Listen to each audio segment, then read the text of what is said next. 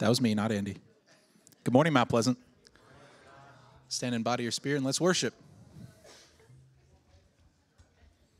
I turn this off because otherwise you're here talking during the live stream. If you ever go back and watch that, so sometimes I say wild stuff. Oh, oh, I thought we were doing the opening video again. Sorry. All right, now I'm all distracted. Sorry, guys.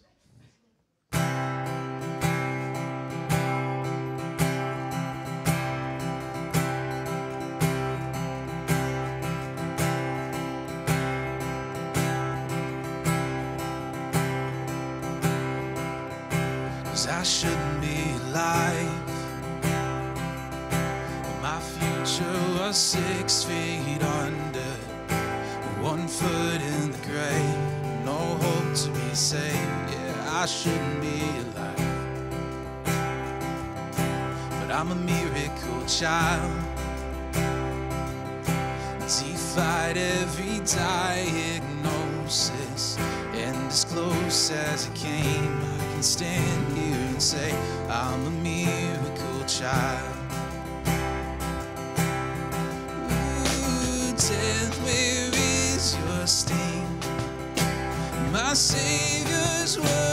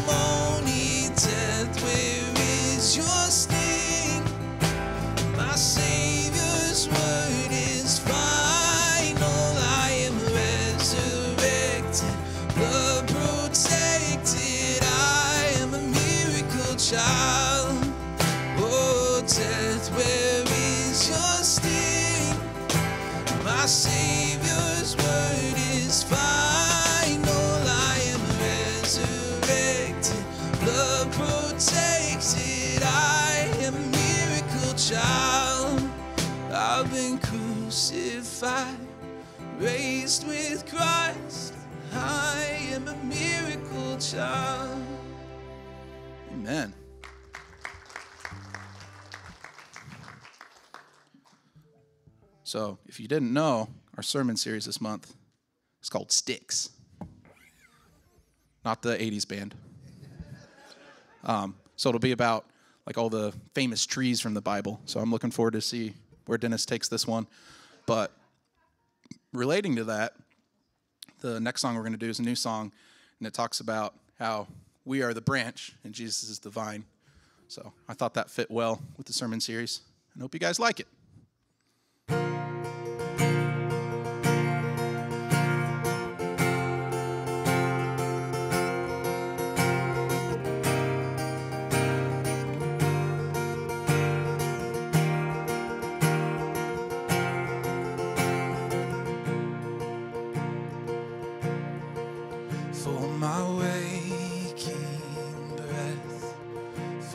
Daily bread. I depend on you. I depend on you for the sun to rise, for my sleep at night. I depend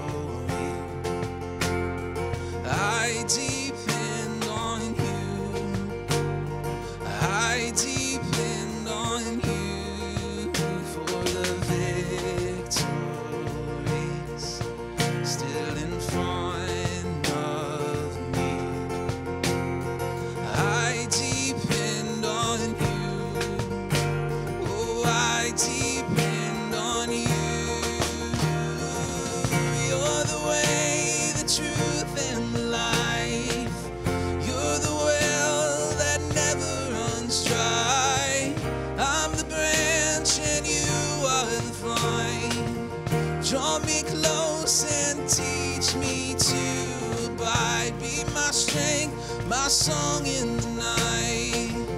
Be my all, my treasure, my prize.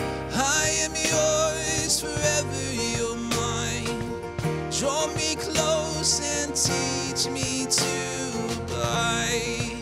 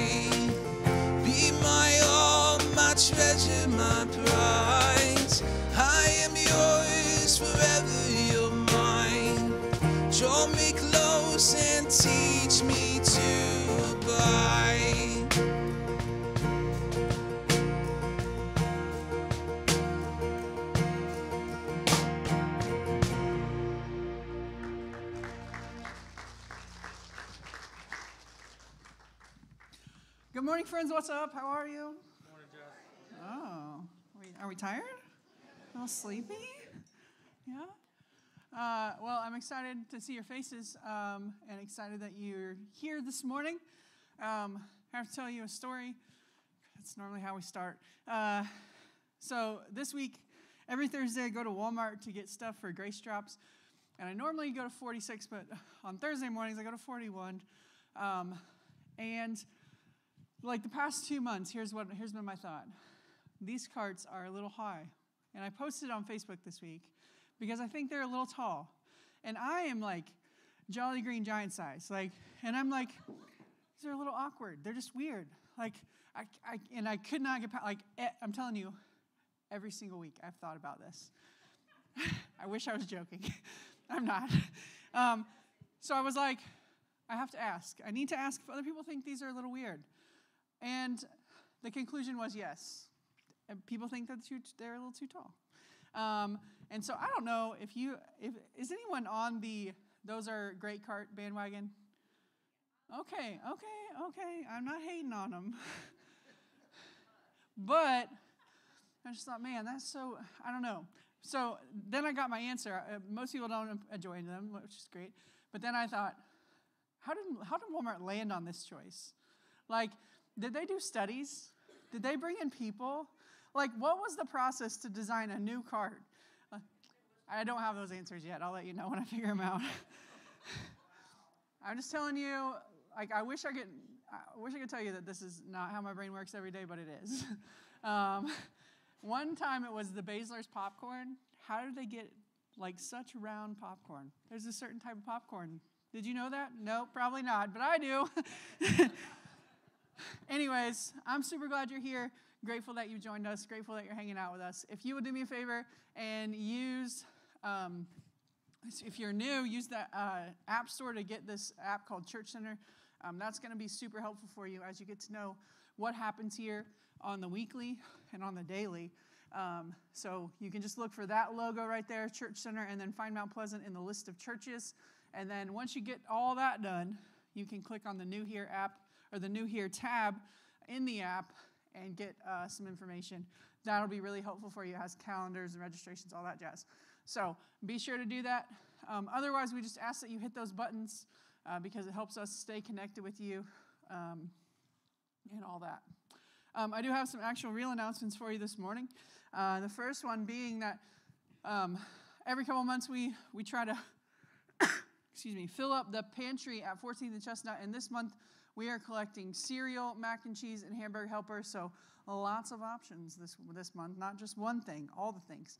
Um, so what you can do is you can go purchase those um, and then bring those in, and our um, greeters will snag those from you, and we can put them where they go. Um, but that is a great way for us to help 14th and Chestnut, who does incredible work up, uh, up uh, near the Wabash area and, and really all over Terre Haute. So, um, would encourage you to do that over the next month. The mission dinner is coming up very soon, April 27th. That feels far away, but it's not at all. Um, it's from 5 to 7. There will be a sit down dinner, Josh and the crew providing entertainment. Um, they didn't list what that would look like, so I'm expecting some interpretive dance. Um, dude, if you brought it, man, I'd, that'd be, oh, that'd be gold. That'd be worth the price of admission. Um, anyways, uh, you can buy the tickets in the app or out in the lobby, um, but that supports our missionaries and organizations who are doing cool things here in Terre Haute and beyond. So, would encourage you to do that. Um, it is Grace Gala week, which is probably why I'm tired and I have no filter. Um, so, I would encourage you if, you if you're like, just wait want to make sure you had enough people just just want you to just wait until the end if you're if that's you that's cool i, I live that life too um, but you can still sign up to volunteer. We'd love to have you. If you're if you're not so sure um, one of the best ways that you can help us is to pack out the red carpet so that it feels really full in here and feels um, like like our guests are kings and queens. So you can come hey uh, 5.15 on the 12th or Saturday at 3:15, maybe a little earlier than that cuz guests even though the event starts at 6 and 4, guests are here like by 4:45 and uh, 2:45. Um, so, we would love for you to be a part of that. Um, you don't need to do anything to do that, just come and show up. Um, it'll be a good time. Uh, we are, uh, the preschool is selling flowers out in the lobby as a spring fundraiser, limited time only. It's only one week, so like this week is the vibe. Like, do it. Um, so uh, you can order those in the app or in the foyer, um, and that helps the preschool do what they do um, every single week and every single day for, for, the, for the tiny children. Um, then uh, flowers will be here the week of May 1st, um, and so if you are um, waiting and being smart about planting your flowers, um, that's a perfect time. It probably won't freeze beyond that. If you're like me, you planted them last weekend. Cool. Awesome. Perfect. I love that. They're fine, I guess. Um, anyways, uh, I wanted to remind you that the offering boxes are in the front, in the back, in the lobby, and you can also give on that Church Center app. Um, one of the things that you may or may not know that we do every week for the last couple months is we have a mental health circle that meets here on Fridays uh, during the day for our friends with disabilities um, and any really anyone who wants to show up. Um, but you know, when you have those ideas, when you hear a need and you're like, man, I think we could do that. I think that would be cool. And you're like, but it probably will fail. that's that's my that's what I do. Um, and yet it's been wildly successful. Um, a few weeks ago, we had about 40 people here for a mental health group, um, and um, we've been averaging about 30. So um, sometimes oh, you guys don't get a good, a cool picture. Yeah, it's exciting. a little wild, but kind of exciting. Um, sometimes you guys don't get to hear those kind of things that happen throughout the week, and and um, and it's your giving that helps us do those things, and it's your giving that helps us experiment and and try things that maybe we think will work, but maybe won't. And um, I think giving us the space to fail is is pretty cool, and we appreciate that. And so, um, and then when it does work, we celebrate. And then when it really works, it's like, oh crap, we might need bigger spaces. um, you know, it's fine. All right. Well, I just appreciate you guys because that's making a difference. And um, it's really cool to hear our friends share about their feelings and about things that are going on in their lives um, and have space to do that. So that's pretty awesome. I'm going to pray before I derail this train any further. Um, all right, let's pray. God, thank you for today. Thank you for the opportunity to be in this place and to show up uh, just for just a small part of our week here to hear about you and to learn and to grow. And we pray that you would just um, have the words that um, we hear, have them resonate in our hearts, but God also um, help them move our feet uh, so that we become people not just who hear, but who act um, like you do, God. We're so grateful. Pray all this in Jesus' name. Amen. Thanks, Jess. It's always fun to jump on the train of thought with Jess. Gets you never know. That's right. Good morning, Mount Pleasant. It's good to be with you this morning in worship. I want to invite you, if you have your Bibles, I want to invite you to turn with me to the book of Genesis, which ought to be easy to find. It's the first book in the Bible. Uh, and we're going to be in Genesis chapter 2. If you don't have a Bible, there are Bibles spread throughout the sanctuary. And if you don't own a Bible, uh, please take that one that's in the pew with you this morning as, as our gift to you. The words will also be on the screen. If you're worshiping with us online, we're glad you're with us. Uh, you're welcome to, you can go to YouVersion app or you can go to BibleGateway.com and you can find the scripture there. Genesis chapter 2, beginning in verse 8. Now the Lord God had planted a garden in the east, in Eden, and there he put the man he had formed. The Lord God made all kinds of trees grow out of the ground trees that were pleasing to the eye and good for food. In the middle of the garden were the tree of life and the tree of the knowledge of good and evil. A river watering the garden flowed from Eden. From there, it was separated into four headwaters. The name of the first is the Pishon.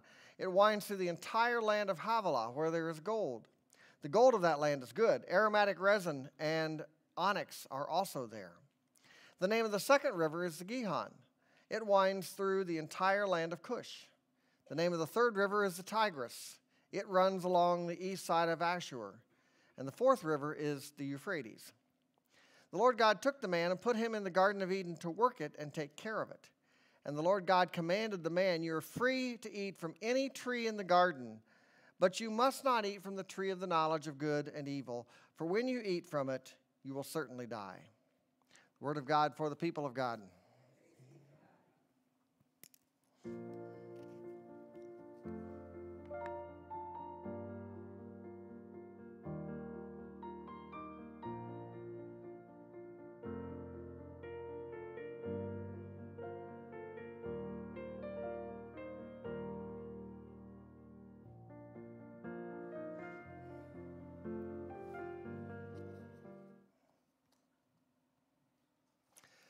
Hopefully, on the way in, you got to pick up one of these. I think they're salmon colored, although if you got the lucky straw, you got a tangerine. There were about two or three of them out there today.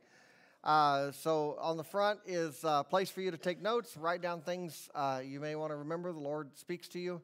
On the back, as always, are questions for you to use in your own reflection or in your life groups, small groups, and then uh, scriptures to read throughout the week. If you're worshiping with us online, uh, it's available on our uh, Facebook page, and there's also a link there to the where you can find it in uh, YouVersion that is in the Bible app. This uh, is a picture of my parents' backyard. This was, was the baseball field uh, when I was growing up. And there was a problem with this baseball diamond. It was interrupted by three trees, one of which you can see in the far distance. That was second base. We took the trees and used them as best we could. There used to be a middle tree that's now gone. That was where the pitcher stood, and I'm standing by the tree that we used for home plate. The, the, the, the one that's there that you can't see where I'm standing by is um, what I'm taking the picture is, is home plate. It was had great limbs for climbing. It was a wonderful tree for climbing. In fact, the limbs were all in the right places for a young boy to be able to get up high enough to be able to see onto and maybe even climb onto the roof of the garage. I'm not saying whether that happened or not, especially if my parents are watching. Um, but it was a great tree, and we loved those trees when I was growing up. In the fall, I would often find myself climbing some other trees. My Aunt Thelma and Uncle Lee had a small collection of apple trees, and we would go there every fall to pick apples. And I have no memory of what kind of apples they were, but I just remember that they got turned into homemade applesauce and apple butter that we enjoyed all winter long, and I can still taste it when I think about it hard enough. I didn't mind the work of picking the apples because I knew the good that was coming. My least favorite encounter with trees was when I was growing up was those Saturday mornings when dad would announce, "We're going to cut firewood today over at Uncle Ned's." And I hated cutting firewood. But I knew that if we didn't, I knew I really didn't have a choice. And I also knew that if we didn't, we would be cold all winter because we used a wood stove primarily to heat our home. I still bear the marks of those mornings, though. I have a scar that thankfully has faded over the years but there was a time when I wasn't watching and I leaned down to pick up something and I inadvertently put my head right in the path of a log that was being tossed back to the truck. That was a lot of fun going to high school on, on, on Monday morning with my head all bandaged up and having to explain how that had happened. Those trees I didn't like very much. Well, as Josh said, today we're beginning a new series called Sticks. And Kathy saw that on the upcoming list and she says, What is this? Sticks? I said, Yeah, sticks, of course, as in trees. And Josh said he's curious where I'm going with this. I'm curious where I'm going with it too, so we'll see together. and I have to say, Pastor Rick asked me, So you're going to preach about the sycamores and the NIT? And I said, No, no, that was planned. This was planned long before that was happening, although there are, of course, sycamore trees. But we're going to be looking at the trees mentioned specifically in the Bible, some of the particular ones that that play an important role in the story of Scripture. Whether you believe it or not, they are all over the place. We don't pay a whole lot of attention to the trees in the Bible, but they are there. Author Matthew Sleeth puts it this way He says, Other than God and people, the Bible mentions trees more than any other living thing. There's a tree on the first page of Genesis, in the first Psalm, on the first page of the New Testament, on the last page of Revelation. Trees are very often places of decision making. And Sleeth, in fact, goes on to make this claim. He says every significant theological event in the Bible is marked by a tree. And so, as we look at these trees in Scripture, we're going to, over these next few weeks, we're also going to be looking for the ways God uses them to point us toward making good decisions, toward making decisions that honor God. Because I'm willing to bet that some of you have some decisions in your life that you're having to make or trying to make. And some may be easy decisions, just like that and others feel like an impossible choice. Maybe you, maybe you need to spend some time by a tree, maybe one of these biblical trees. And so the very first trees that were there in the scripture are where the most challenging decision in human history was made. They, this decision was made at a tree called the knowledge of good and evil. Now, I know Christians have different opinions about whether or not these early chapters of Genesis are, are word for word stories or history or whether they're parables. I mean, you know, nobody who was there at the beginning was actually writing it down, what happened. By the time it's all written down, stories have been handed down for generations. That's part of why we actually have two different accounts of creation in Genesis 1 and Genesis 2, and they, they're a little bit different in, how, in, in the way they say it happened. The order of things is a little different, the style of the stories is very different. Personally, I'm of the belief that these stories do represent history generally, but that the point of these stories is not historical like we think about it. It's not about names and dates and times and places and so on. The point of these stories is to tell us that God created it all, to affirm that loudly that God is the one who made everything. And so, therefore, these stories say to us that God gets to determine the best way that life is to be lived. And so, with that said, we're told that after God created everything, including humanity in the form of Adam and Eve, although Eve doesn't actually get a name until well into chapter 3, after all of that, God planted a garden.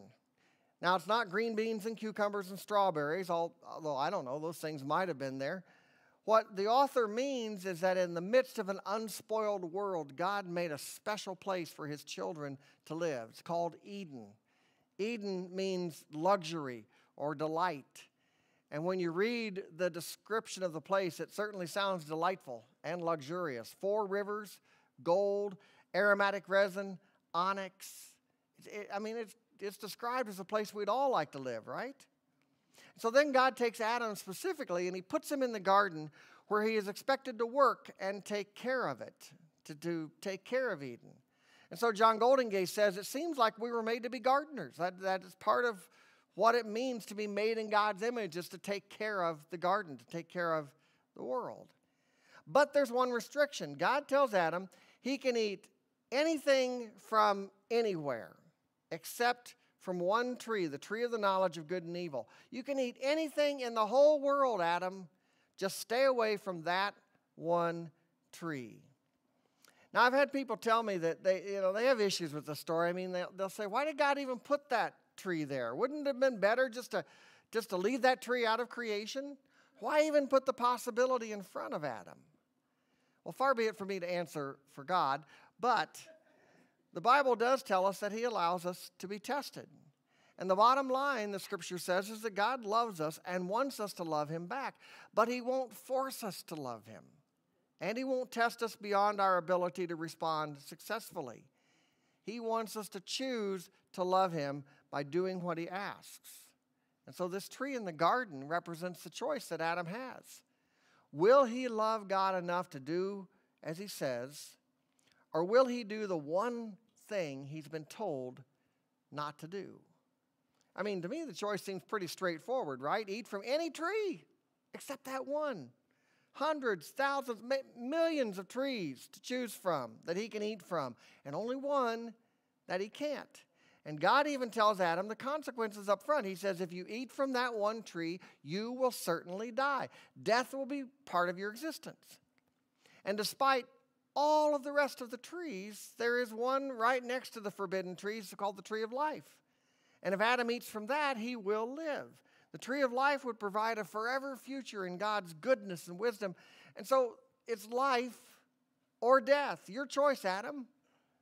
I, I don't think it's any mistake that right after God puts this choice in front of Adam, the very next verse, he then says, It's not good for the man to be alone. That's when God creates Eve, right after he gives Adam this choice. Because, men, let's face it, we need help, right? Can I get an amen? Not from the ladies. I was looking for an amen from the men. Thanks, Leslie. God knew it from the beginning. Uh, Eve is even called a helper. However, things don't go the way God hopes.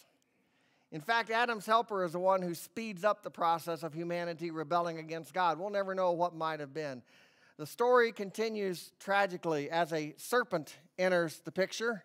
He's hiding here in the tree, if you can kind of see him there. And he lies to Eve about the consequences of eating from the tree.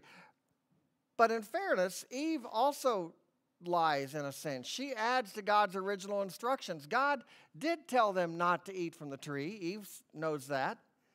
But Eve says God told them not to even touch it. Now, God didn't tell Adam that. I'm sure the serpent knows that. I mean, he knows when we add on to God's word or when we twist it into something it was never intended to say. Nevertheless, Eve and Adam believe the serpent's lies more than they believe what God actually said. Maybe the addition God made or Eve made to God's instructions made her feel safer somehow. Like, you know, I, am not going to break God's rule if I first don't break my own rule. But what it actually does is distances her from God's wisdom, even distances her from God Himself. By adding to God's instructions, Eve becomes her own boss, rather than listening to God's voice? I don't know. But I do know that Genesis says the serpent's words made Eve see the fruit of the tree in a different light. It says, When the woman saw the fruit of the tree was good for food and pleasing to the eye, she took, and also desirable for gaining wisdom, she took some of it and she ate it. She also gave some to her husband who was with her, and he ate it. They failed the test. And the relationship between God and humanity was broken, all because at the tree they chose to listen to the wrong voice. And now you're thinking, yeah, we know. We, they listen to the tempter's voice. Don't have anything to do with talking serpents because they lie. Got it. but that's not the only wrong voice Adam and Eve listened to in this story. See, this story is not just about not listening to the serpent no matter what the serpent said, because these two humans still had a choice, even though the serpent had, was trying to lure them in one way. In their hearts and minds, they still had these pretty clear instructions from God. What happens at the tree of the knowledge of good and evil is that Adam and Eve choose to listen to their own voice over God's. They choose to trust their own decision making, their own intuition, rather than trust what God has told them was for the best. The tree of, knowledge, the knowledge of good and evil represents autonomy, doing life on your own, ignoring, pushing God aside. And for a bit, it seems like their choice paid off. I mean, they didn't die, at least not physically, not yet. But there are things that did die immediately. For one, their trust in and their innocence with each other dies. As soon as they eat of the fruit, Genesis says, the eyes of both of them were opened and they realized they were naked. So they sewed fig leaves together and made coverings for themselves. This has never been a problem before. Until they ate the fruit, they were completely comfortable with each other. They trusted each other. And now that they've listened to their own voice, they suddenly see the other person as, uh, I, don't know, a, a threat, uh, less trustworthy, and other. Relational death happens when they listen to the wrong voice. And spiritual death happens as well. The next verse tells us how the two of them heard God walking in the garden. And I, wonder, I often wonder what, it, what does it sound like when God walks in the garden? What did they hear? Whatever it sounded like, they knew it was God, right? That the text seems to imply that walking together in the garden was something they did on a regular basis. I mean, it certainly indicates that Adam and Eve had a close, unhindered relationship with God before this moment. They talked freely and openly, they spent time together. But now God has to come looking for them. And I, I, don't think it's that God doesn't know where they are. I think God even knows what's happened, of course. But he still asks questions. He asks lots of questions. According to educators, asking questions is the best way to help children figure out and admit their mistakes. Questions help them own what they've done. And I don't know what age Adam and Eve were created at, but you could say that no matter what age, what physical age they were, they're moral children at this point. Bible teacher Kat Armstrong describes it this way. Says, she says there's a graciousness in asking questions. God does not yell. He does not point fingers. He does not explode with anger or denigrate Adam and Eve's reach for wisdom. He asks hard questions. And he gives them every opportunity to confess, to repent, offer to change but they don't take him up on it. They never do. Instead, they make excuses. They blame each other. They blame the serpent. It gets a little close to home there, actually, if, if I'm honest, because we all still do the same thing, don't we? We mess up and we begin looking for someone to blame. What we're terrible at is admitting that we've simply listened to the wrong voice. We've listened to our own voice, and we've eaten from the wrong tree. So when we make big decisions, maybe life altering decisions, we first need to make sure we're listening to the right voice. And the only truly right voice for the believer in Jesus is God's voice. Problem is, and you know this, the problem is that, and the challenge is that God speaks in a still small voice. And the world's voice, the, tempting voice of the modern day serpents, the world's voice is just so loud and it feels overpowering. So, how do we learn to listen to that gentle whisper that is the voice of God. Three things very quickly. The first is prayer, because you can't listen to somebody you're not in communication with, right? And prayer is the way that we communicate with the creator of the universe. Now, we've talked several times, we've had whole sermon series on prayer and listening through prayer. So let me just sort of sum it up this way.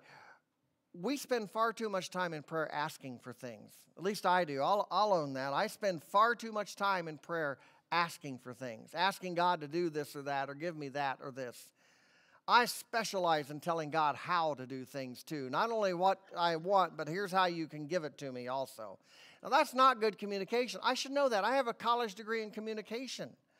I, now, I'm not saying we can't or shouldn't ask for what we want. Jesus tells us to do that, He clearly says that. But that's not everything prayer should be. Prayer is first and foremost about spending time with God, walking in the garden with Him, as it were. It's, it's just hanging out in His presence learning what he's like, and, and yes, learning to hear his voice. Now, I'm, I've never heard an audible voice from God like you have in the movies, but I have had some very strong impressions that almost always show themselves to be God's voice to me. And so we learn what that voice sounds like for us. We learn to listen in prayer. And then we test what we've heard in a couple of ways. First, we check it out through the community of faith.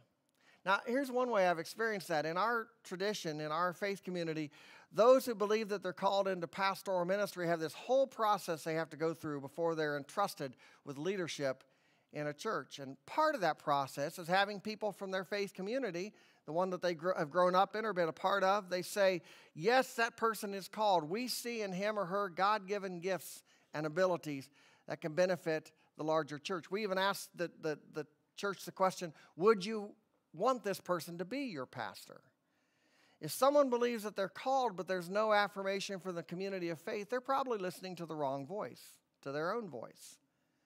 In the same way, here, before we launch a new ministry or a new program, we, we sift through it at the staff table. We talk through it at leadership council table because we believe that if God has called us to move in that direction, He will confirm it through the community.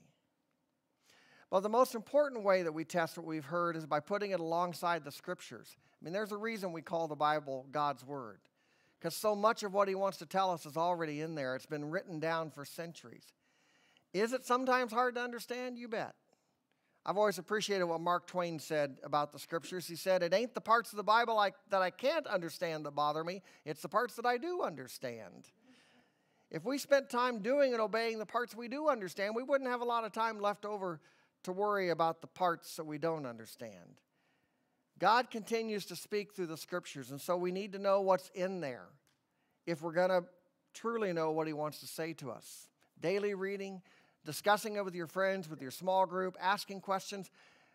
Heavens, even listening to a sermon might be helpful. All of those things can help us know the Bible and help us discern the voice of God speaking to us. That's why we give Bibles to our third graders every year through the Bible Explorers class. Ginger has a class with them for several weeks. They go over what the Bible is and how to read it and how to understand it. They, they even have a session where they get to ask me questions about the Bible and, and pretty much anything else that they want to ask. So that when we present them with their new Bibles, like we're going to do in a few moments today, they've got a head start. I can't encourage you enough, Bible explorers and all the rest of the congregation, to read the Bible regularly. I mean, we even give you, if you don't know where to start, we give you texts every week to read. Reading the Bible gives me life, not death. And it helps me learn to listen to the right voice. So, the first tree we encounter in the scriptures presents us with a choice. What voice are we going to listen to? Our own? The voice of the serpent? Or the wise, good, and kind voice of our Creator, God? This morning, this first Sunday after Easter, we're going to first present Bibles to our Bible explorers, and then they're going to help us gather around the table of the Lord as we share in Holy Communion, which is something we do because Jesus told us to. Do this, he said, and remember. And when we obey, the tree of life tells us when we obey, we will receive life and blessing, and we will live long in the land God has given us. So, this morning, in a few moments, we're going to come to the table as obedient people, longing to listen to the voice of our Savior today and every day. But first, we're going to pray for them. We're going to encourage our Bible explorers as they receive their own Bibles and continue their journey in learning to listen to the voice of God. So I'm going to invite the Bible explorers to come. Miss Ginger's going to come, and uh, we're going to share in that moment of blessing with them.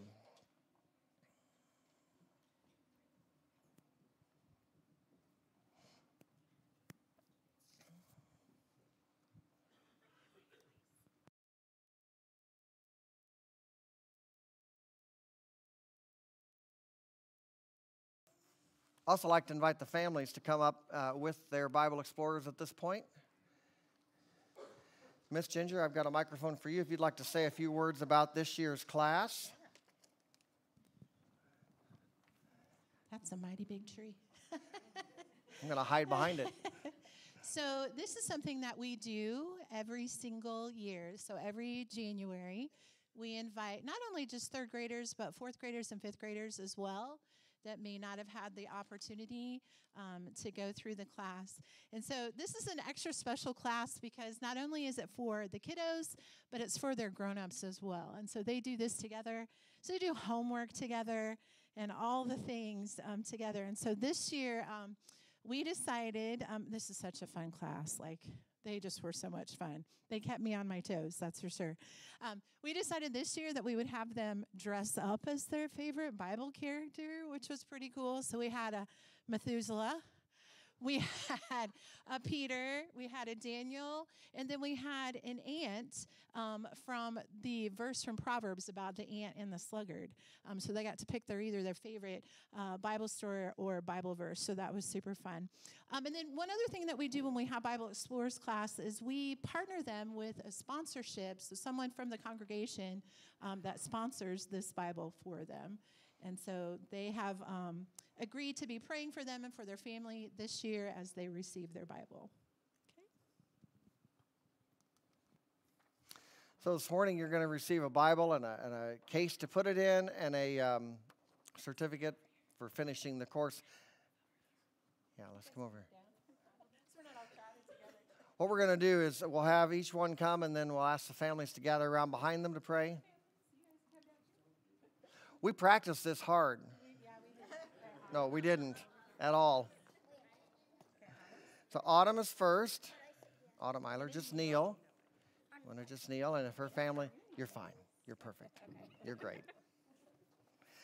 And what each each uh, there's a family member uh, for each one who has selected a verse from the Bible that is their blessing, and so we're going to pray that over them as they receive their Bibles today. Autumn, your prayer your prayer comes from Proverbs 31. Strength and dignity are her clothing, and she smiles at the future. Amen. Brennan is next.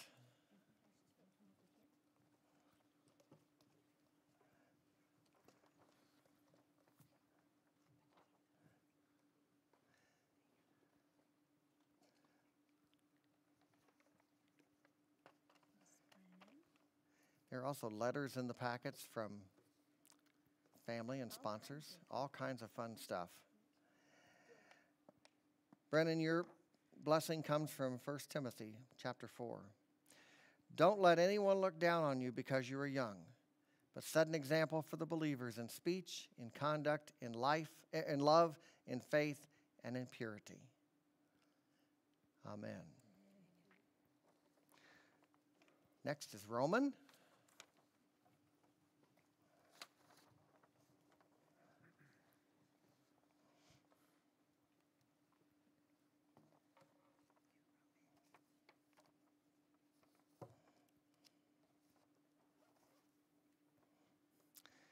Roman, your blessing is from Psalm 37. The steps of a good man are ordered by the Lord, and he delighteth in his way. Though he fall, he shall not be utterly cast down, for the Lord upholdeth him with his hand. Amen.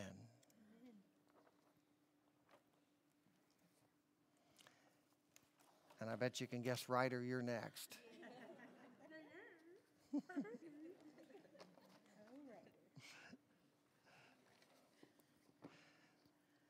Miss Ginger's right. This was a fun class. I was asked questions I've never been asked before. Uh-huh. So We learned some new things. yes, yeah. Ryder, your blessing is from Psalm 119. May God's word be sweeter than honey to your mouth. Amen. Now you have your own Bibles, so the scriptures that are on the back of the, of the outline every week you can read every day along with your parents. I would encourage you to do that and stay in the scriptures every week. Congregation, would you offer your uh, encouragement and congratulations to our Bible Explorers this year?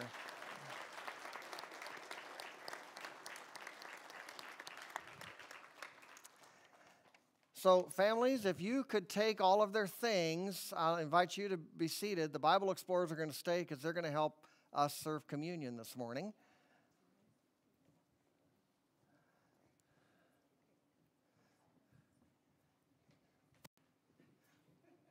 We lost, oh, I thought we lost one. I was counting. So.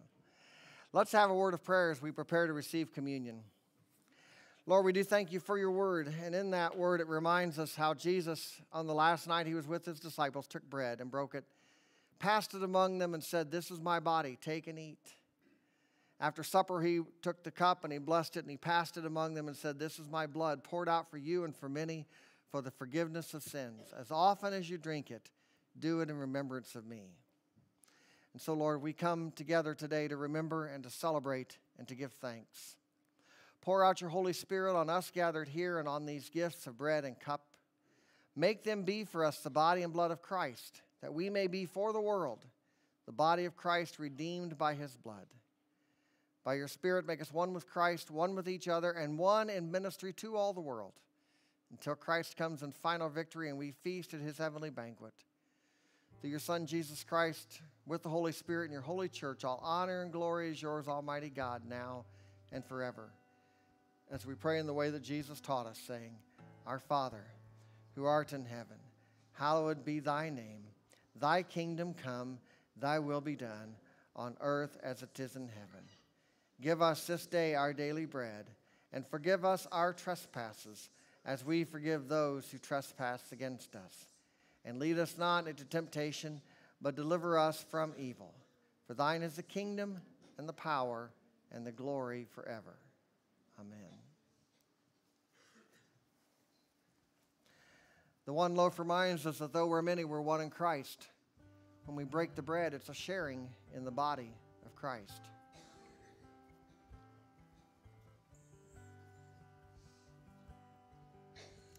The cup over which we give thanks is a sharing in the blood of Christ.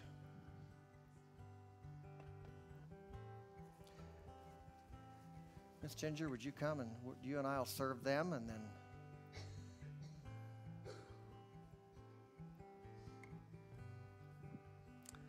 Autumn, the body of Christ given for you. Brennan, the body of Christ given for you. Roman, the body of Christ given for you. Ryder, the body of Christ given for you.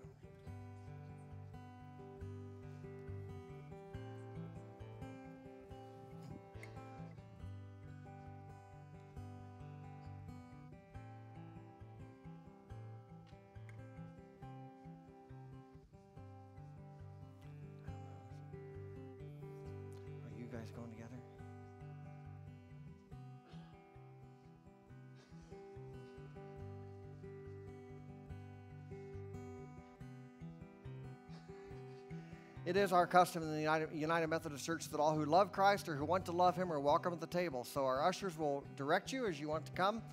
Come down the center aisle. There'll be a station on either side, so you can make two lines coming down the center aisle. I know this is different. Methodists don't do change, but we're going to try it today. Uh, you can come down the center in two lines uh, and receive the uh, take a piece of bread, dip it in the cup.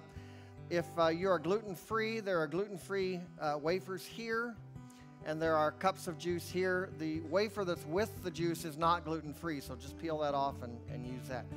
Um, you can pray and then return to your seats. If you have mobility issues and need to be served where you're seated, just let the ushers know, and we'll be glad to do that as well this morning. So let's come to the table. You guys come over here.